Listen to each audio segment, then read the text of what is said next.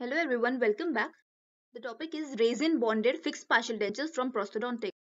So now what exactly is this resin bonded fixed partial denture? So this was introduced to minimize the major drawback of your conventional FPD that was the destruction of a sound tooth structure. Now over here this is the tooth preparation that you have done on your abutment in a conventional FPD. So in this the tooth preparation is very extensive. That means you're damaging a good tooth. So if the abutments they are caries free and they are very good or they are very healthy. So in that case like in a conventional FPD what you do is you do this tooth preparation and you're damaging a very good tooth.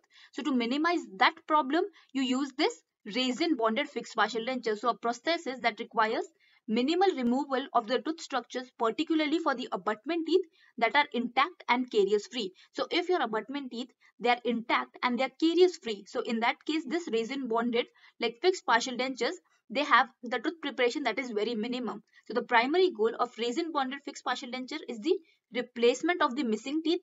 So the primary goal is you're replacing your missing teeth and there is maximum conservation of the tooth structure because in this the tooth preparation is very minimum. So now what is the definition? So a prosthesis that is luted to the tooth structure primarily enamel which has been etched to provide the mechanical retention. So over here the prosthesis it is luted to enamel primarily because over here you're doing the etching that you're doing the acid etching of your enamel so when you do this acid etching so what happens is there is creation of those micro tags so because of that you get you get a mechanical retention for your prosthesis so this is basically a resin bonded fixed partial denture in which the enamel it is etched and by that you like get a mechanical retention for the composite resin so the first person to introduce acid etching was Buonocore.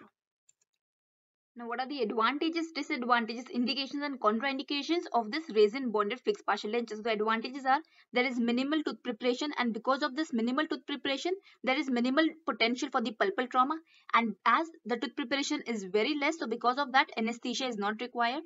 Now, in this, the placement of gingival margin, it is supragingival. Then over here, the impression taking is easy. Then this, in this like resin bonded fixed partial dentures, the chair time and the cost it is reduced and over here rebonding is possible. Then what are the disadvantages in this the longevity of your like prosthesis it is reduced. Over here the enamel it is modified because over here now what you're doing is you're etching the enamel. So the enamel modification is required. Then in this space correction is difficult. Then good alignment of abutment teeth is required in such cases because now over here you're not doing the extensive tooth preparation and you're not making those like complete retainers that you do in the conventional. So because of that your abutment teeth they should be in a very good alignment then aesthetic, it is compromised on the posterior teeth. Now, what are the indications? So, in this, the replacement of the missing anterior teeth in children and adolescent. So, if you want to replace the missing anterior teeth, so in that case, you can go for this resin bonded fixed partial dentures. Then, if the edentulous space is short, that means less number of tooth they are missing. So, in that case, you go you can go for this resin bonded. Then, if your abutments they are healthy, that means they are unrestored then if there is like replacement of a single posterior teeth then there is significant crown length and then only you can go for this resin bonded. And over here the moisture control it should be very good because now in this you're using composite resins. So because of that you require very good moisture control. Now what are the contraindications? So if the patient they're having parafunctional habit so you cannot go for this resin bonded. If the edentulous span is long that means if there are more number of teeth which are missing so in that case you cannot go for this resin bonded if the abutments they are restored or if they are damaged then the next is compromised enamel. Then the next like contraindication is significant pontic width discrepancy. So if the pontic width discrepancy is significant that means if the pontic like width is more so in that case you cannot go for this fixed partial this that is resin bonded. Then the next is if the person is allergic to nickel because now in this you are making like you're making this prosthesis with the help of nickel. So in this like if the person he is allergic to it so you cannot go again for this resin bonded. And if there is deep vertical overlap so in that case again you cannot go for this resin bonded fixed partial dentures. Now which are the various types of resin bonded fixed partial dentures? First one is rochette. The next one is maryland bridge. The third one is cast mesh fixed partial dentures. And the fourth one is virginia bridge. So these are the various types of resin bonded fixed partial dentures. So starting with the first one that is Rochette bridge.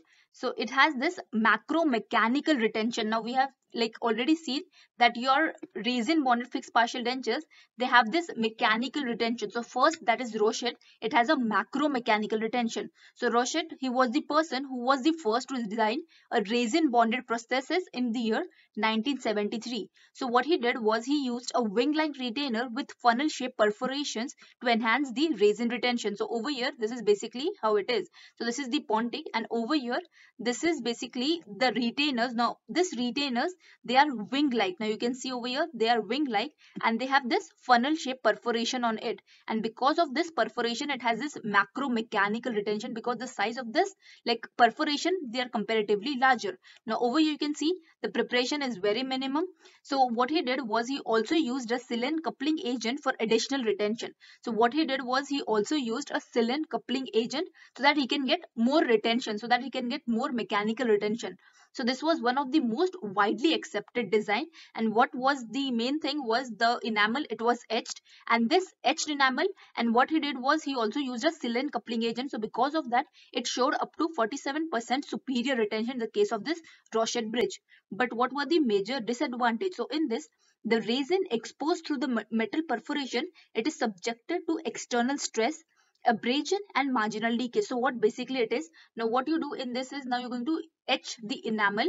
So you're doing the enamel etching and then you're going to apply the composite resin on it.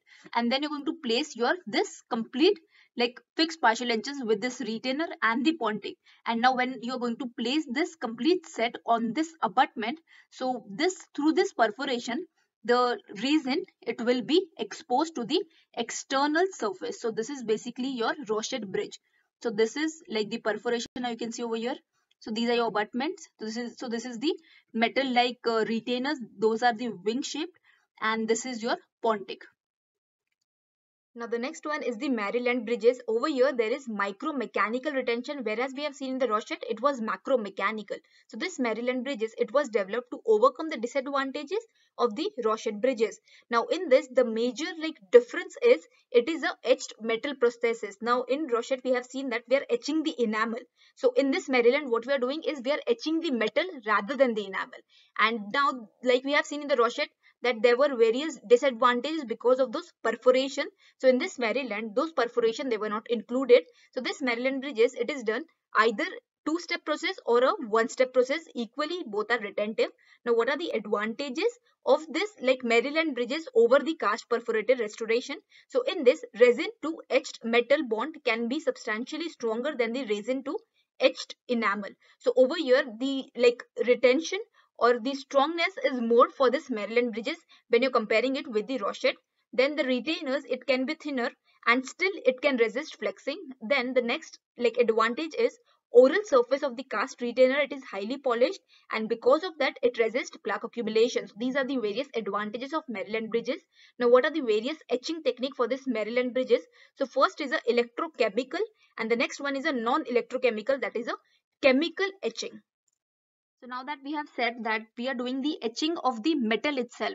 So basically there are two types of etching that is electrochemical or chemical etching. So electrochemicals now it is a etching in which a chemical electrolyte is used in the presence of an electrical gradient. So this is a electrochemical etching. Now there are various like processes for this electrochemical. It can be two-step process or a one-step process. So two-step process is basically you are having two stages and one step is when you have only one stage. So two-step process it was introduced by Livaditis and Thompson. Now in this there is electrochemical pit corroding technique. So in this the first step or the first stage will be now the etching it is done in which like what you're doing is you're going to immerse the retainer. So what you're doing in this you're going to like etch the retainer itself. So you're going to immerse your retainer for etching in 3.5% nitric acid for 5 minutes in the first step but now this is like so this first step it is for non beryllium containing nickel chromium alloy. So if your alloy it is non beryllium containing so in that case you go for the first step which is you're going to immerse your retainer in 3.5% nitric acid. But now if it is beryllium containing so if the alloy it has beryllium so in that case your first step it will change. So instead of using nitric acid what you're doing what you're going to do is you're going to immerse your retainer in 10% sulfuric acid So this is about the first step in your two-step process. Now the second step, it remains the same for both the alloy. So it will be, you're going to immerse the retainer into 18% hydrochloric acid for 10 minutes in an ultrasonic cleaner bath. So this is the next step. So this becomes your two-step process. So because of this process, or because of this two-step, the etching is done for your retainer. Now what is one-step process? So this one-step process, it was introduced by Mac Laughlin so it is a faster technique. Now in this, the solution, it is a combination of both that is sulfuric and a hydrochloric acid. So because of that, it is a one step process like instead of doing, instead of changing your like retainers from solution to solution, what you're doing is you're going to combine both the solution, both the stages in one only. So that becomes your one step process. So now what are the disadvantages of this electrochemical etching? So now over here, it is technique sensitive it is lab dependent then it varies with the metal type now over here we have seen in the first step that if it is a non-beryllium or if it is a beryllium so the first step it will be changed then the next disadvantage is it is prone to contamination and then it cannot be done with the noble metal alloys now what is chemical etching so first it was a electrochemical etching. Now the next type of etching technique for your Maryland bridges is chemical etching. So it was introduced by Livaditis. Now over here it is a non-electrolytic technique. So because of that this chemical etching it is also known as non-electrochemical etching. So it is a non-electrolytic technique for etching a nickel chromium beryllium alloy. In this what you're going to do is you're going to place this like retainer in an etching solution for 1 hour in a water bath at 70 degrees centigrades. So this is the thing for your chemical etching which was given by Livaditis. Now there was a modification which was done by Dakis. So he proposed that instead of using this water bath, what you can do is you can use a stable aqua regia gel. So this is the modification now, what is the advantage of this chemical etching? Now, in this, there is no use or there is no need of a special equipment. So, these are like the various two techniques for your Maryland bridges that is electrochemical and chemical. The next one is the cast mesh fixed partial dentures. Now, this cast mesh fixed partial denture, it is a non-etching method. Now what it does is, now over here what you do is you produce roughness before the alloy is cast or what you can do is you can use a net like nylon mesh. So over here what you're doing is you're using this nylon mesh on the abutment itself. So you're going to place this nylon mesh on the lingual surface of your abutment. Now over here you can see, so you have poured your cast. So these are your abutments. So you're placing this nylon mesh on this abutment and then you're going to cover this nylon mesh by the wax pattern and then you're going to do the casting. So you'll see that when these retainers are made so they are made with this nylon mesh. So this is nothing but a cast mesh fpd so it eliminates the need for etching. So advantages use of noble metal alloys and disadvantages is it is stiff making it somewhat difficult to adapt to the detail of the abutment tooth. Then the wax it runs too freely into the mesh blocks undercut compromising retentivity so over here this is like the mm, cast mesh fixed partial dentures in which you're using this nylon mesh.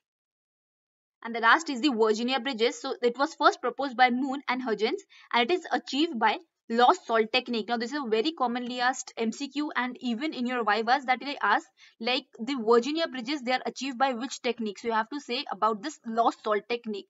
So basically what you do in this is you're going to roughen your retainers by incorporating the salt crystal onto the retainer wax pattern. So because of that you produce that roughness on the inner surface. So in this what you're going to do is first you're going to pour your cast. So you have taken your impression and then you're going to pour your cast. So now on your cast you have your abutments and that retainers are placed on your abutment as you know. So what you're going to do is now you're going to make the retainer wax pattern on that abutment. So basically this is just an example of what like wax pattern looks like but this is not a resin bonded FPD. This is just an example of it like exactly what wax pattern is. So what you do on this like in this like Virginia bridges is you make the retainer wax pattern and then what you do is you sprinkle salt crystal on that retainer wax pattern. So the size of the salt crystal it is 150 to 250 microns. So now the salt crystal it gets incorporated into the tissue surface of the resin pattern. Now as you have sprinkled that salt on this wax pattern. So now this salt it gets incorporated into that like wax pattern. So then the salt crystals they are dissolved and the resin pattern it is invested. And after that what you do is now as you have sprinkled that salt so now your wax pattern is basically the basic thing for your casting. Now as you know in the casting procedure you attach a sprue and then you do the casting procedure. Then this like wax it is melted but this wax it is acting like a thing through which you can make a proper crown. So this wax pattern it is just acting uh, as a replica.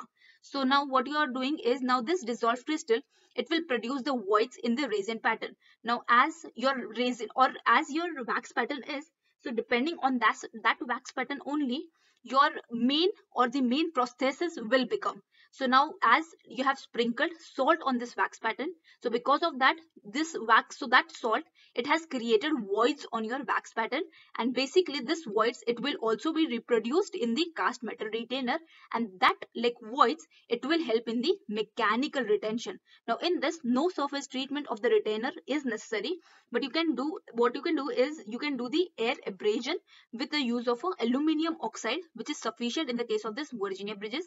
So basically this is nothing nothing but a lost salt technique in which you are like incorporating the salt in the wax pattern itself of the retainer and then you're going to cast that wax pattern. So that was all about the resin bonded fixed partial dentures and the various types of it. I hope you found this video helpful. Thank you so much.